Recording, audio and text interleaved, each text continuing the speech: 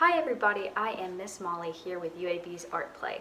Today I'm going to be showing you how to make a 3D pop-out card. So this is what we're working towards. It's super easy and super fun and you can do a lot of different things with it.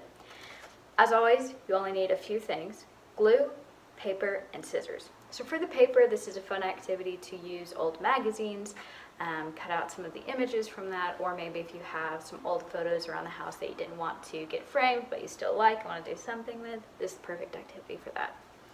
So the very first thing you're going to do is take a piece of paper and fold it in half. Easy peasy so far. The next thing we're going to do is create these columns.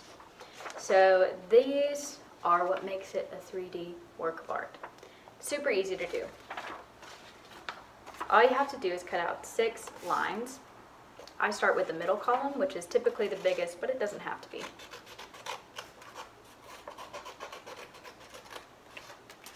I'm to make that a little bit bigger. And then make sure that it's even on both sides. And then go ahead and fold it. So you want to make sure that that crease is in there nice and solid. And then you do the same thing with two other sides.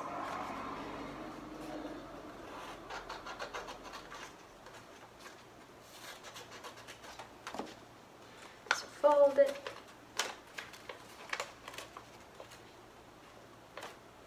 And then one more.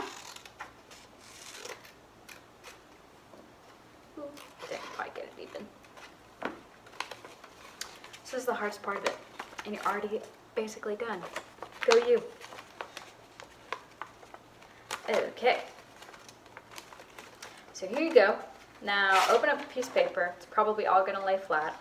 So what you want to do is poke those columns out so that they fold away from the rest of the paper. So like that. Yes.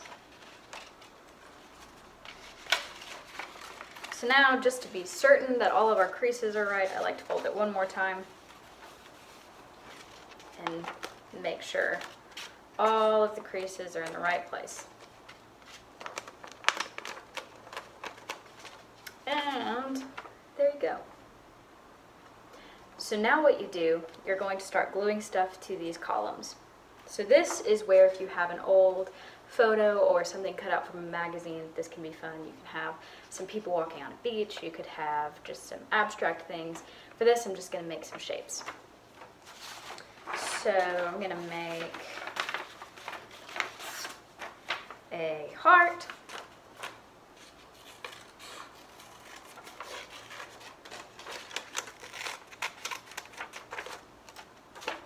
And a square.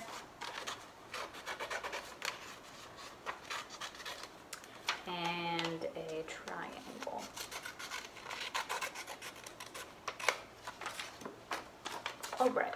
Now I have my shapes.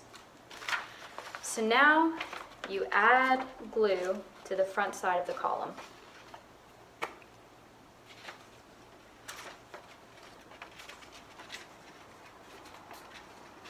And if you have liquid glue, that's also fine, really anything that's going to make it stick. Um, but you want to make sure, if you're using anything that's runny, that it dries all out before you fold it back up. Because then you won't be able to open it again, and that would be sad. Okay, do I want to add here? I guess I'll put my triangle. Now, in an ideal world, oh, here I have a different triangle than we use. You want to try to cover up the column fully to add the 3D effect. Now, if your thing is short, that's absolutely fine. No worries. And there's my glue and do the same thing with the other two columns.